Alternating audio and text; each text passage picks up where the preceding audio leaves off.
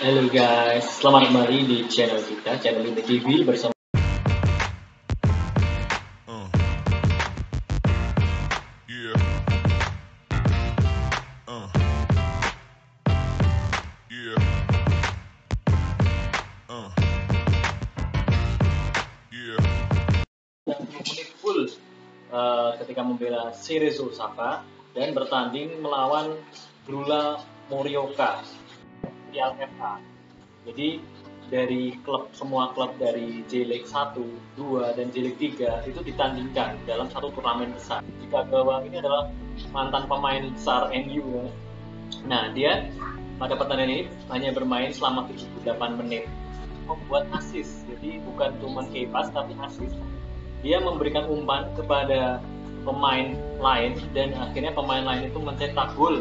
Uh, dia divisi utamanya, jadi yang yang divisi utama. Uh, kompetisi yang paling tinggi ketahui bahwa dia masih muda. Dan mungkin bisa jadi ketika dia punya pengalaman di Jepang kita nanti akan balik lagi. Dan setelah dia bermain itu dia juga akhirnya uh, akan bergabung uh, di timnas Sintayong. Nasionalisasi nasionalis nasionalisme dia sangat baik. Di sini semoga dia menjadi pemain yang luar biasa